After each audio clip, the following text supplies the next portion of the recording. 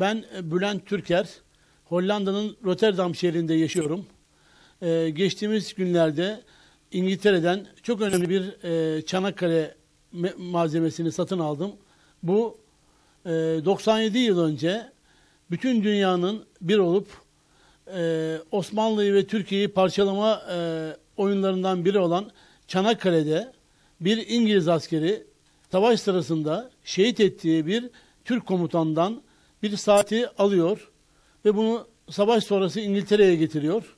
İngiltere'de çocuklarının çocukları e, 97 yıl sonra torunu bu saati açık arttırmaya koyuyor. Açık arttırmada ben bu saati 9 gün süren açık arttırmada 2400 pound'a e, yani 8000 TL'ye satın aldım ve inanılmaz mutlu oldum. Saat geldikten sonra 3 gün ağladım. Hala duygulanıyorum.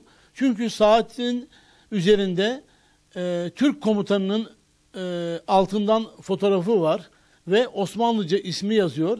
Ayrıca 1330 o günkü tarihiyle e, bugün işte 1914 tarihini e, yazılı yazılı olduğunu gördüm. Yine İstanbul'un ismi var. İşte bu ko- komutanın ismi e, biraz ezilmiş. Şimdi bunu e, okutup Türkiye'deki e, yakınlarını bulmak, onlarla tanışmak ve onların torunlarını bularak bu güzel mutluluğu onlarla birlikte paylaşmak istiyorum. E, benim e, Hollanda'da birçok e, Çanakkale malzemem var. Yıllardan beri de gerek Hollanda'da, gerek Almanya'da, Fransa'da, Belçika'da festivallerde, barlarda Çanakkale Müzesi açıyorum. Bin parça eşyam içinde en değerli parçalardan bir tanesi de bu e, Çanakkale'deki Türk komutanının sahibi, sahibi sa- saati.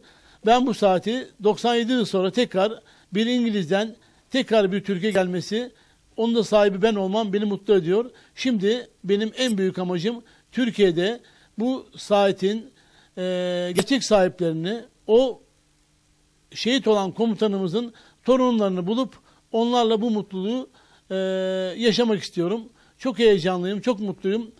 E, teşekkür ediyorum.